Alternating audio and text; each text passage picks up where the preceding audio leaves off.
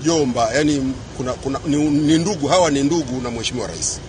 Jana wamechangisha pesa, sawa, ndugu wamechangishana, wakapata milioni ngapi? Mbili. Mbili.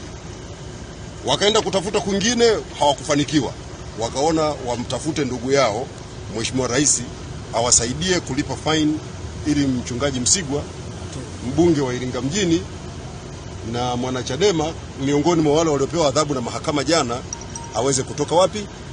Gerezani. Sawa Sawa. kwa hivyo mheshimiwa rais leo ndio katoa hizo pesa, na sasa hizi ndio nyaraka mmeziona, zionyeshe mwenyewe mzee.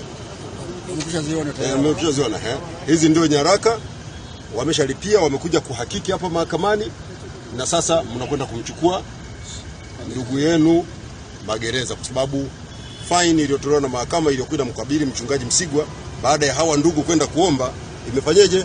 Imeshalipwa. Tumeelewana vizuri ndugu zangu waandishi? Eh, eh.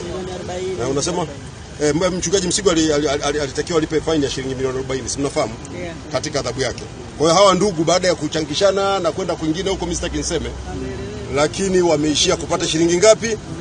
Milioni mbili. Na Mheshimiwa Rais ametoa milioni 38 baada ya kuombwa na ndugu. Ni mpwa. Mmenielewa? Sawa, basi nawashukuru. Sasa mna- mna- mnaelekea Segerea, si ndio?